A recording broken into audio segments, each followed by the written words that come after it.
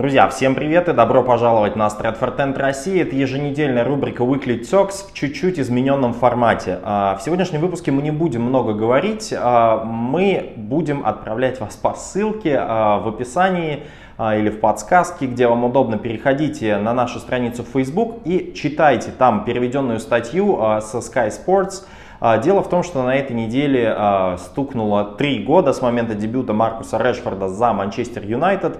А, и небольшой обзор со статистикой, такая достаточно интересная статья, вышла на Sky Sports на английском языке. И специально для вас мы ее перевели, поэтому переходите по ссылке в описании. И сегодняшний выпуск мы посвящаем целиком и полностью этой статье и выпуску, ну, и собственно, да, выпуску Маркуса Решфорда, выходу Маркуса Решфорда на поле в матче с Митьюландом, когда он забил сначала два Митьюланда, на этой же неделе два Арсеналу, потом еще забывал в дебютах э, во всех турнирах, плюс за сборную.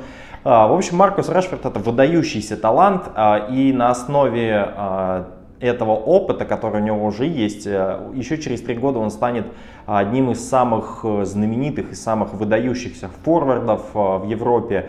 Ну, во многом он этим обязан и Луи Вангал уже за Мурини, и, конечно же, Оле Сульшеру, и об этом влиянии мы также говорим. Поэтому переходите а, по ссылке и читайте нашу статью, заодно оставляйте а, ваше мнение о том, насколько вам а, такой текстовый формат нравится, или, или мы будем чередовать это с выпусками видео, как это было раньше.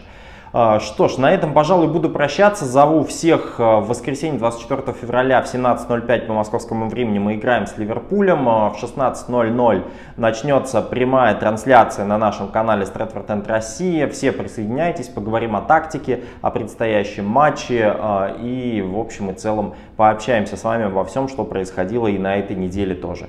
Что ж, у меня же на этом все. Болейте за Манчестер Юнайтед, подписывайтесь на канал, ставьте лайк, если вам нравится то, что мы делаем. Оставьте свое мнение, пожалуйста, в комментариях о текущем формате рубрики Weekly Talks. А, ну и, конечно же, присоединяйтесь к нам на прямой трансляции в воскресенье. До новых встреч. С вами был Алексей. Пока-пока.